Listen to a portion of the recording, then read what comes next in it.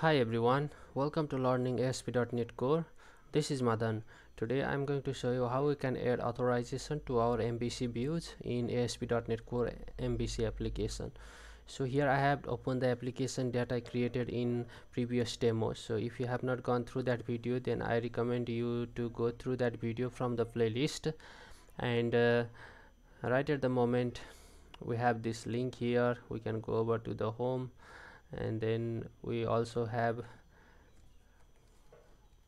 uh, user role management but that require us to go through login. So we have a user here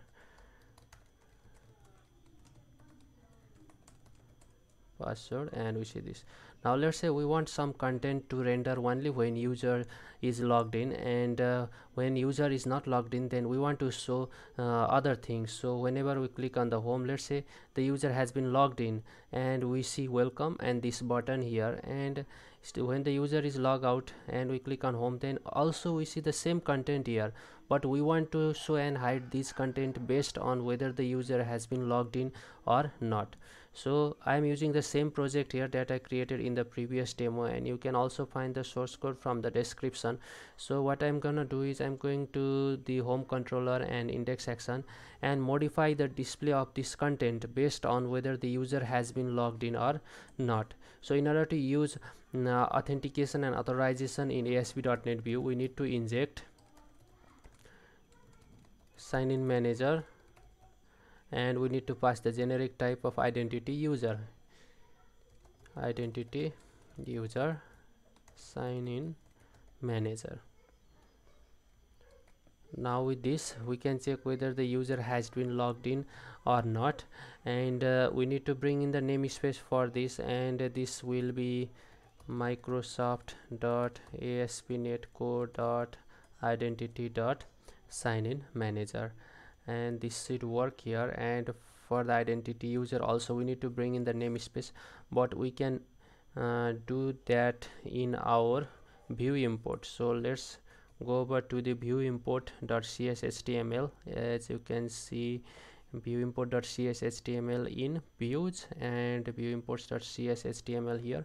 So let's import that namespace here using microsoft dot ASP.NET dot identity.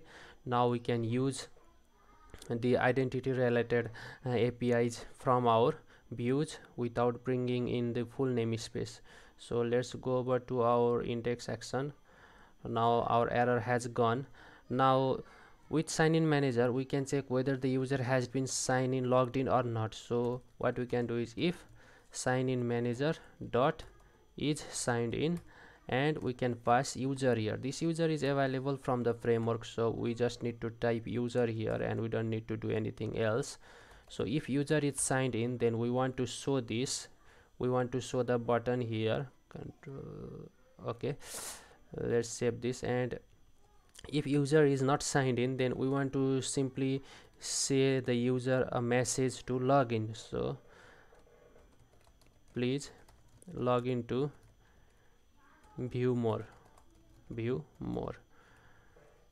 So this is all. With identity framework we just need to inject the sign in manager uh, with the generic type of identity user and we can use that and pass. It has a api called it's signed in and we can pass the user and put our condition here to check whether the user has been logged in or not.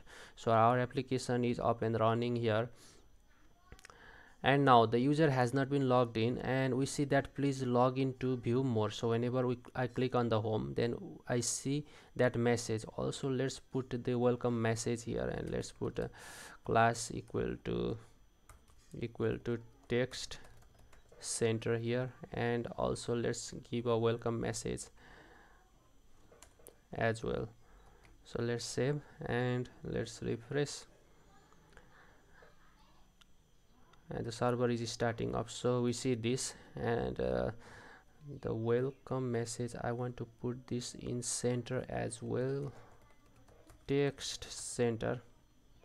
And let's save this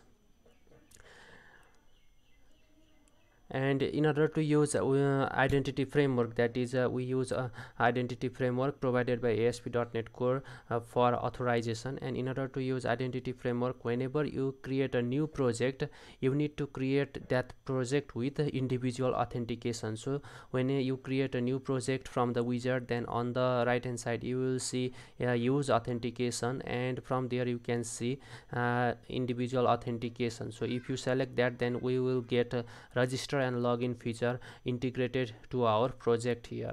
And I did the same thing when I created my previous video about authorization in ASP.NET Core and this video is based upon the previous video. So here user has not been logged in and we see that the please log in to view more but let's log in.